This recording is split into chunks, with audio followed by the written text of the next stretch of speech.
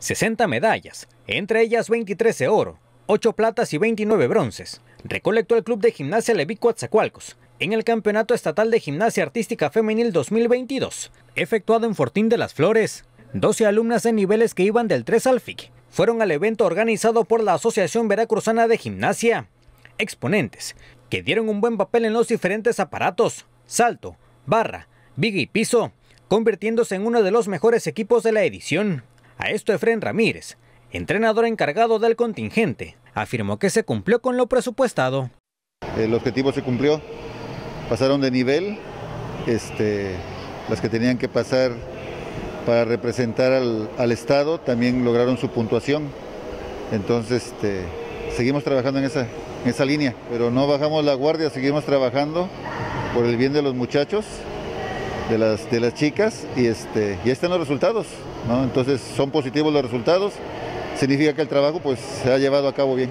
De la delegación, Mariana Malpica, campeona en el All Around del nivel FIC, Geraldine Lozano y Aranza Lamas, ambas nivel 9, obtuvieron su pase al Campeonato Nacional de la especialidad. Gané en las cinco categorías que son, en All Round y en cada uno de los aparatos. Tal vez ajustar algunos detalles, pero pues sí se cumplió los objetivos que llevaba.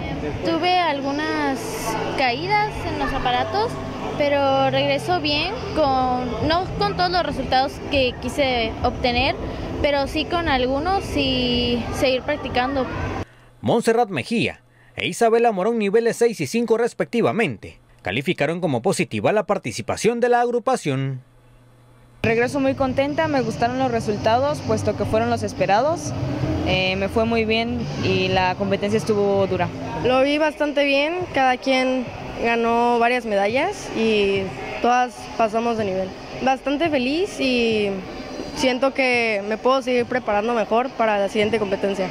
El nacional convocado por la Federación Mexicana de la Disciplina se llevará a cabo del 22 al 27 de mayo en Guadalajara, Jalisco. Enrique Martínez, RTV, Más Deportes.